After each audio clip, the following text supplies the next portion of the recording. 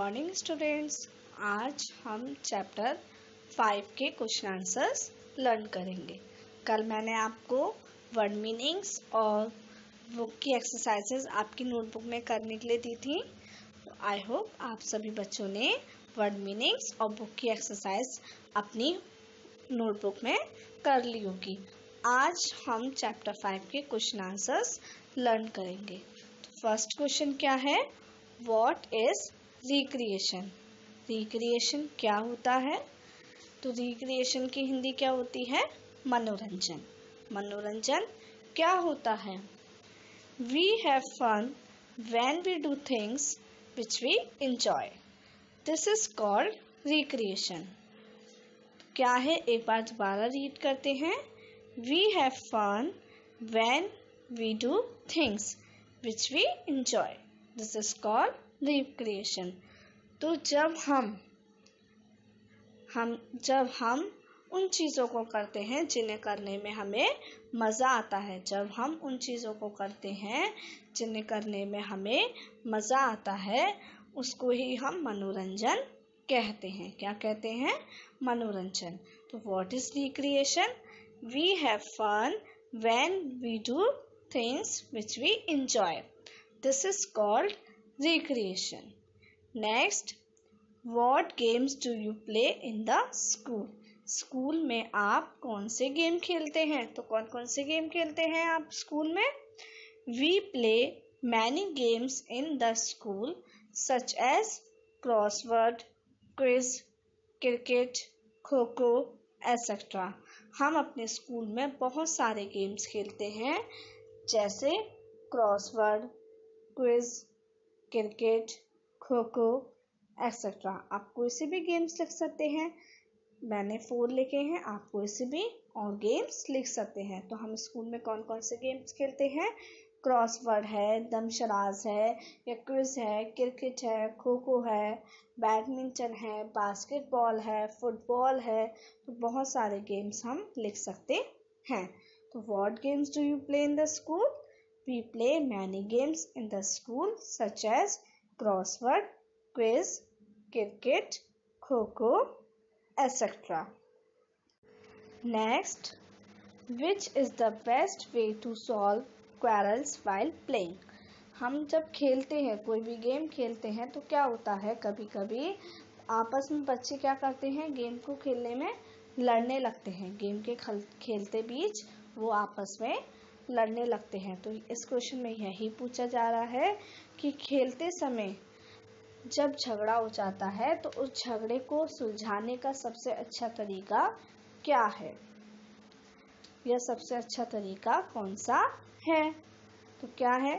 The best way to solve quarrels is to follow the rules of the games strictly तो सबसे अच्छा तरीका है झगड़ों को रोकने का, झगड़ों को सुलझाने का कि हमें गेम्स के रूल्स को फॉलो करना चाहिए। गेम्स के रूल्स को क्या करना चाहिए? फॉलो करना चाहिए। हम गेम्स के रूल्स को अच्छे से फॉलो करेंगे तो क्या होगा? झगड़ा होगा ही नहीं और गेम हमारा अच्छे से चलेगा।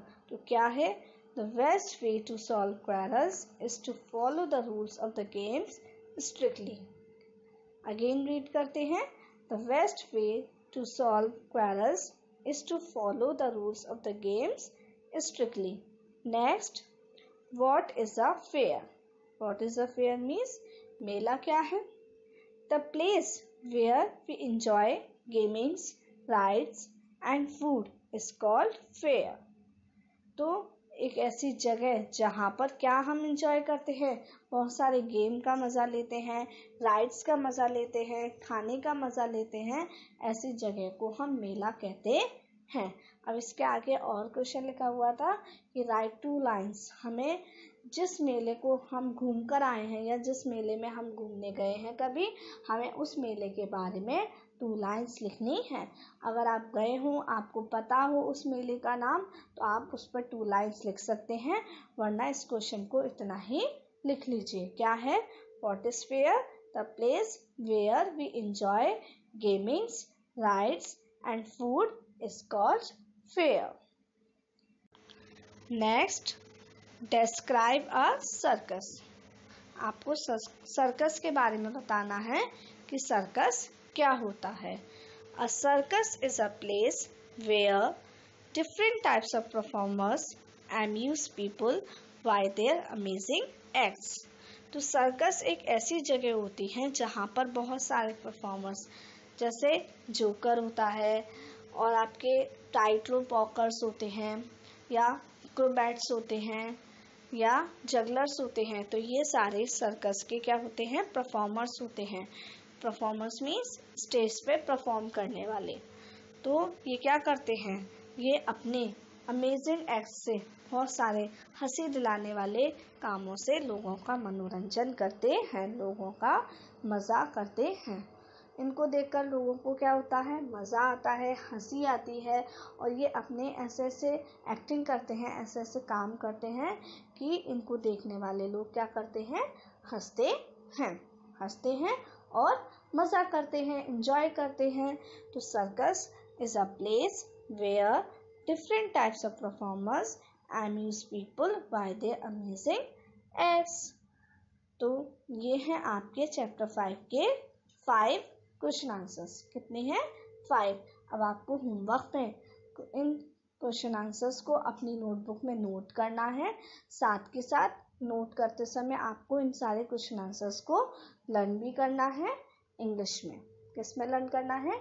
इंग्लिश में और नोटबुक में भी आपको इंग्लिश में ही लिखने हैं। बस आपको इनकी हिंदी पता होनी चाहिए, इसलिए मैंने आपको हिंदी में भी बताए हैं, लेकिन आपको इन क्वेश्चन आंसर्स को इंग्लिश में लर्न करना है और अपनी नोटबुक में सुंदर सुंदर राइटिंग में नोट करना है। अब हम नेक्स्ट क्लास में चैप्टर सिक्स रीड करेंगे, जब तक आप अपने चैप्टर फाइव को अच्छे से रीड कर लीजिए।